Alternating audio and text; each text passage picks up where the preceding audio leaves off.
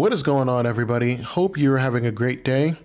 So, drones are something I have been interested in for a pretty long time now. I remember around the time when they came out, however, they weren't really obtainable or they weren't accessible in terms of their price range.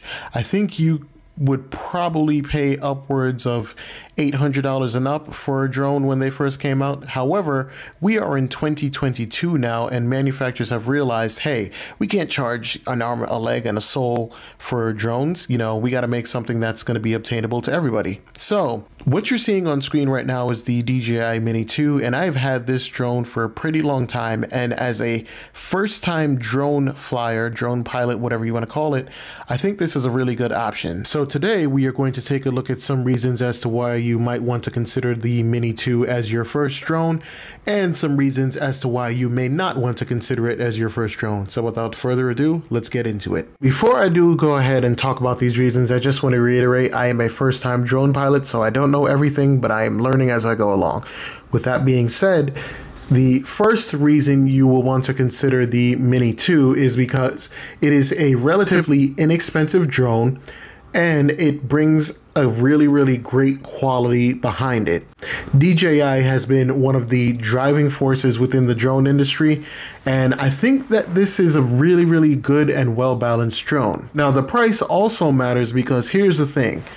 I think it's going to boil down to one of three things when you are purchasing or looking into a drone. You're either curious about them and you just wanted to go ahead and try them out, and you may never go ahead and use it again um, you are looking to make it a hobby and you are interested in the flying aspect or maybe even the camera aspect of them, you are looking to make money with a drone and you know to also do that you have to get your part 107 license. That's a whole different story. We're not going to get into that right now. But overall yes this is a relatively inexpensive drone and something that i feel if you take a risk on you know, you're not going to be losing out on too much. Reason number two is if you decide to go a little bit more in depth with drone photography or just flying drones in general, there are a lot of accessories for the DJI Mini 2 since it's been out for a pretty long time. I believe it's something like it's definitely over a year now. Maybe it's two years, I'm not too sure. But as you can see here on the table, I bought all of these accessories pretty much. Here you have propeller guards. Propeller guards are definitely important if you are wanting to fly within something like a forest. These will lower your chances of your drone crashing if something hits the propellers. I have some landing gear here, which I think cost me about $6.99, even though I haven't had to actually use it, but it's out there for you if you want. I have this here, which is a sort of propeller sustainer, I would call it in a sense. It makes it so that your propellers just don't start flying around and potentially snap off. It keeps them in place. And I have some lights here for flying at nighttime, which I haven't attached yet. I have two ND filters. I have this charging hub, which I like this charging hub a lot better than the actual official one because this has a display on it. And, you know, I can go ahead and put these batteries in to it here and it'll actually tell me the charge of those batteries. So this thing has been pretty useful. You know, the original one, I believe it only just kind of gives you like four dots there and it'll let you know what the battery life is like. But this thing has been pretty good to me. So this is available too. And I think this was on eBay for like 30 or $40. And of course, the last thing I have on the table here was the actual batteries. So I got these with the actual drone itself, but batteries you can find them aplenty on eBay. So, all in all, what I'm trying to drive home is yes, there are a ton of accessories. The next reason to consider this drone is because it is actually only 249 grams. It's very, very light. Now, the weight actually matters a lot more than you think with drones. And some of you may be saying, well, if I'm going to be flying it, I'm not holding it, it doesn't really matter to me. Well, the FAA actually begs to differ. So, here's a little fun fact you cannot fly a drone over 249 grams legally unless you register it with the FAA and take a test. So, a drone that is 249 grams like this one is very, very important, especially for people who are just considering this as a hobby. I do have my FAA trust license. I paid $5 for that. I took the test. I passed it. You actually can't fail it. But either way, if you're looking to get into drones as a whole, this is going to be one of the easiest to fly because it is considered more likely a toy to anybody. So that 249 grams, that weight there, very, very important. The next reason the Mini 2 might be the drone you want to consider for your first one is because they actually have protection plans for it, in-house protection plans. Now, if you're one of those people that's kind of just, you know, caution to the wind kind of type people, this won't matter to you, but it does matter to me because, you know, there are some times where I get a little bit crazy when I am flying my drone and I have hit things. I've definitely hit things. So for me, this actually makes sense. And for the Mini 2, the price is actually not that bad. So for the one year, I believe it's something like $49. And for the two year, I think it's about maybe 79 or maybe a little bit less. At most, it's going to be 79. And what it covers is collision, water damage, flyaway, and just natural wear. And if you're wondering what flyaway is, I can't really explain it to you that well, but I will try.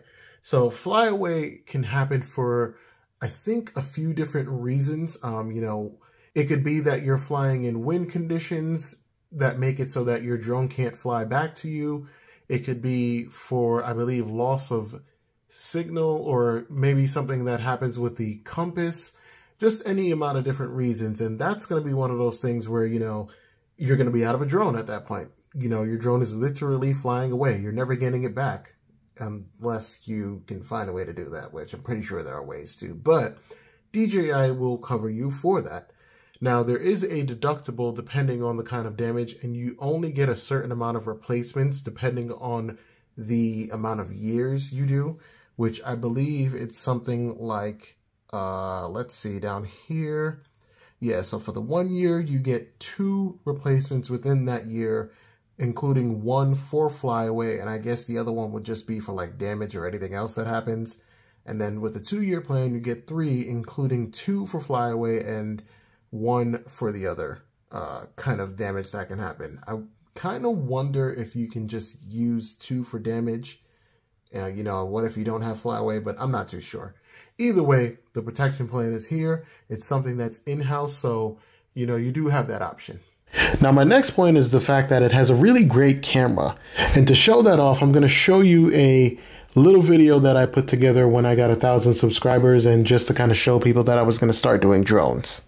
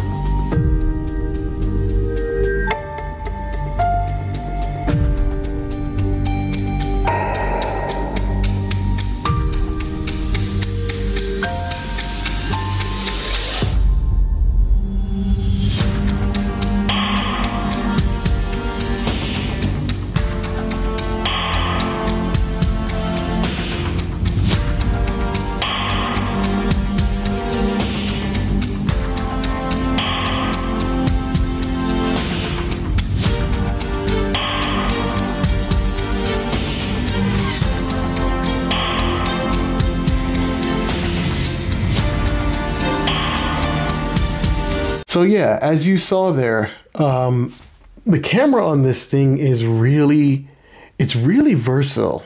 And I mean, I am not a photographer in any way, but I do like taking really interesting pictures and really just, you know, a lot of sunsets, a lot of uh, trees. And overall, the thing that interests me with drones, other than the fact of uh, flying them, is their cameras. These are going to be devices that you can pretty much get into places you would normally not by using your own two feet. So yeah, the 4K camera on here is really, really good.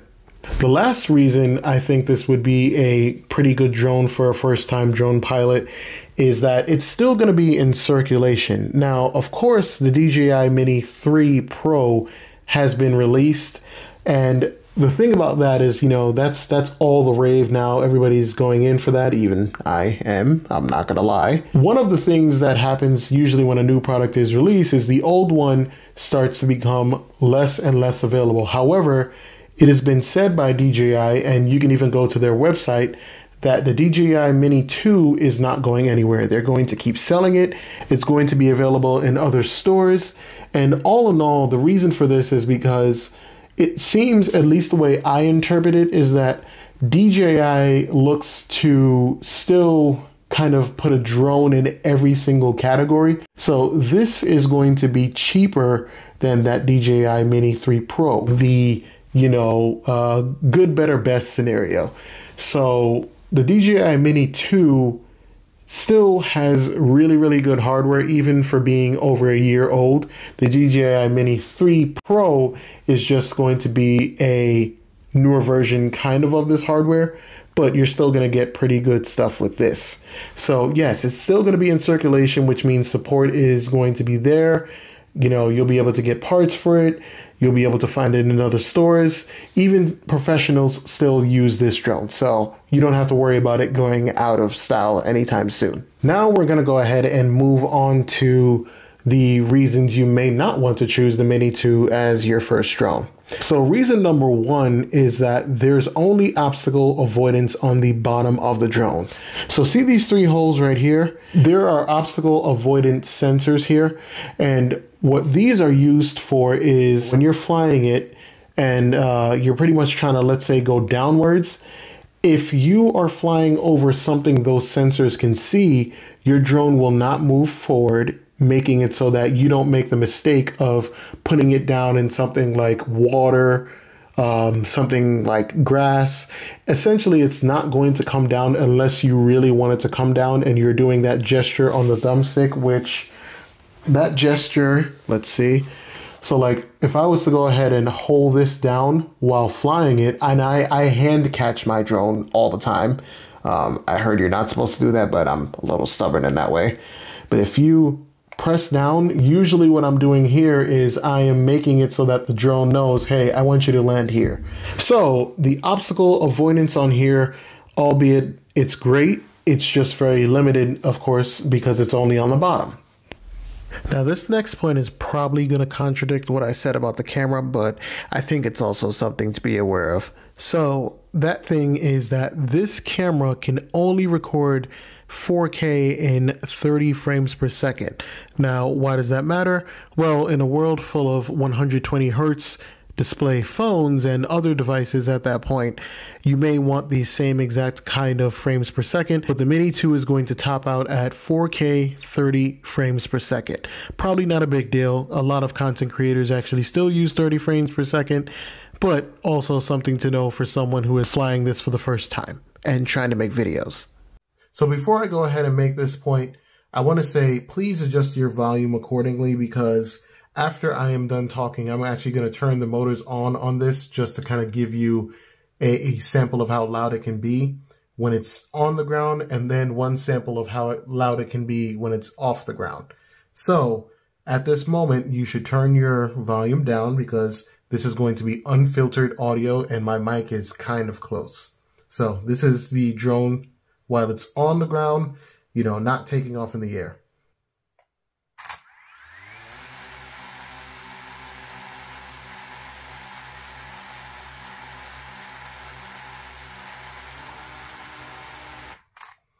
Okay, so that is on the ground, and let's move on to how loud this drone can get while you're outside. And again, adjust your volume, keep your volume where it is, because I don't know how loud this is going to be.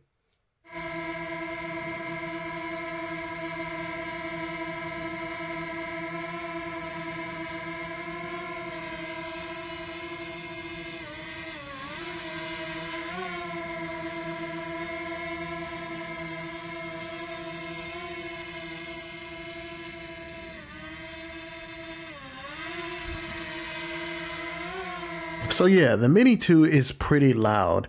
Now, this is something that would only matter to someone who is really more of a beginner. People who have been flying drones forever probably don't care about the sound. However, I know for myself when I started flying this in public, I noticed that people would look at it and if they were in the same area when I was taking it off, it would draw in a few looks. So, yeah, that's something to be aware of. So next reason is going to be the fact that the batteries, albeit they have a 31 minute max flight time, that is going to be in specific and perfect conditions. Now, we all know perfect conditions rarely exist. So, the thing is that there is no option for an extended battery, at least not officially that I have seen. If there is, or if someone has seen a battery that works better than the OEM ones, please let me know in the comments. Let us all know. But as it stands right now, I have not seen an extended battery that can go past 31 minutes. And realistically, I have gotten maybe, I want to say max, maybe like 24 minutes or maybe even a little less than that so that's something definitely to be aware of. Now, the next thing to know is that the batteries are going to be charging in sequence when using the charging hub. Now, obviously, I'm not using the OEM charging hub. However, this one here that I have on screen is supposed to work the same exact way. What this means is if you are charging a battery, it will start with the lowest, go on to the next lowest, and then go on to the next lowest. So if you have all three batteries depleted pretty much, what's going to happen is it'll charge only one at a time, then go on to the next, and then go on to the next. So that's something to be aware of, especially if you are trying to take this somewhere and fly it around for, you know, long amounts of time. Now, the last reason you may not want to go with the Mini 2 is because you have to use your phone, at least at this point in time while I'm making this video, you have to use your phone in tandem with the RC controller you get here. So the way that this works is you pull this up here, which I believe is an antenna. There's some antenna wiring in here. And there are these grooves right here where your phone is supposed to sit. Now, in my case, of course, first world problem, I have the Galaxy Z Fold. And this does actually work for me, but one of the things is I have a case on my phone. So I have to kind of take that off every single time. And you may not have to with any other phone other than this one. But overall, you can actually see my phone still doesn't technically fit within the grooves over here to keep it secure. So if I hit this hard enough, I can definitely make this fall. You probably won't have that problem with a regular candy bar phone, but something to keep in mind, especially because of the fact that this setup can take a little bit of time to do. You know, if you're getting out of a car, um, you're going to shoot somewhere, you kind of got to get this stuff ready. And on top of that, if you get a call, this can be interrupted. Um, there are just certain things that can go on here. Now, of course, one of the benefits to doing this though is that this has a battery in it that will charge your phone. At least it'll try to sustain the battery here. So that's one benefit, of course. Another benefit, of course, is the fact that you do have the quality of your phone's display to see the video feed, of course. And that's something that may definitely have value for you. Now, I didn't really want to put this in here, but I'm going to anyway. This is the controller for the Mini 3 Pro, and this is called, I believe, the just the DJI RC. This is the DJI RC N1. This actually has a display built in, and this is basically Android built into the controller. So at this point in time, this does not work with the Mini 2. Um, I don't know if DJI is going to make it so it can work with it. I would imagine so, but just in case you want to know how the controller setup works on here. Alright, so those are the six reasons you should consider the DJI Mini 2 as your first drone, and six reasons why you might want to consider something else. In all honesty, this drone has pretty much aged very well, in my opinion at least. For something that's over a year old and that's still going to be sold, it must mean that it's popular enough and usable enough for people to want to keep buying it. So let me know in the comments if this is the one you're going to pick up or if you're going to go ahead and pick up something else. Please let me know that also. I'm definitely open to looking into other drones as I want to get into this hobby a little bit more, but I definitely think that this is a very good starting place. So, as always, wherever you are in the world, have a good morning, good afternoon, good evening, or a good night. And thank you for watching this.